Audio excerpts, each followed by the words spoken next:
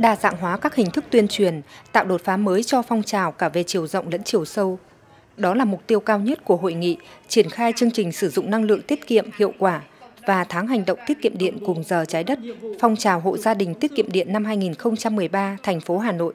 Hội nghị diễn ra sáng ngày 5 tháng 3 năm 2013 tại Hà Nội do Tổng công ty Điện lực thành phố Hà Nội phối hợp cùng Trung tâm Tiết kiệm Năng lượng Hà Nội tổ chức. Tham dự hội nghị có ông Phương Hoàng Kim, tránh văn phòng Tiết kiệm Năng lượng, Bộ Công Thương, ông Phạm Đức Tiến, Phó Giám đốc Sở Công Thương Hà Nội, ông Phạm Hồng Thái, Giám đốc Trung tâm Tiết kiệm Năng lượng Hà Nội, ông Võ Quang Lâm, trưởng ban quan hệ cộng đồng EVN, ông Nguyễn Anh Tuấn, Phó Tổng Giám đốc EVN Hà Nội.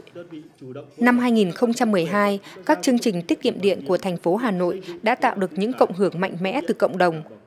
Cụ thể, cuộc vận động hộ gia đình sử dụng tiết kiệm điện năm 2012 trên địa bàn thành phố Hà Nội đã được triển khai sâu rộng hiệu quả với 28 triệu kWh điện đã được tiết kiệm.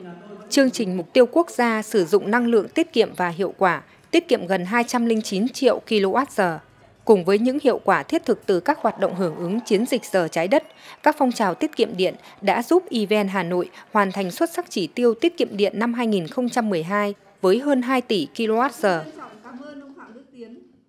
Năm nay, trong bối cảnh thế giới và cả nước đang nỗ lực từng bước đẩy lùi nguy cơ biến đổi khí hậu, tháng hành động tiết kiệm điện cùng giờ trái đất 2013 được EVN Hà Nội xác định là một trong những điểm nhấn quan trọng. Cùng với chương trình mục tiêu quốc gia sử dụng năng lượng tiết kiệm và hiệu quả, phong trào hộ gia đình sử dụng tiết kiệm điện tạo thành một chuỗi hoạt động liên tiếp nhằm tạo sức lan tỏa cộng đồng mạnh mẽ, tạo chuyển biến từ nhận thức đến hành động ngày càng thiết thực hơn. Năm nay thì ờ, điểm khác biệt thì ờ, tôi nghĩ là là chúng tôi sẽ tiếp tục phát huy cái của năm 2012 và chúng tôi sẽ ờ, sâu rộng hơn năm nay chúng tôi sẽ tập trung hơn về các cái khối doanh nghiệp, các cái đơn vị mà sử dụng cái công suất điện lớn. Chúng tôi kỳ vọng năm nay chúng tôi sẽ có thể vượt cái mức của năm ngoái. Năm ngoái chúng tôi là trên 2% thì năm nay chúng tôi sẽ phấn đấu cố gắng là đạt được cái mức 3%. Thành công của các chương trình tiết kiệm điện trên địa bàn thành phố Hà Nội không chỉ dừng lại ở con số hàng trăm kWh hay hàng ngàn tỷ đồng. Quan trọng hơn, nó đã góp phần làm thay đổi nhận thức của các tầng lớp nhân dân, biến việc sử dụng năng lượng tiết kiệm và hiệu quả thành việc làm thường xuyên, liên tục và lâu dài.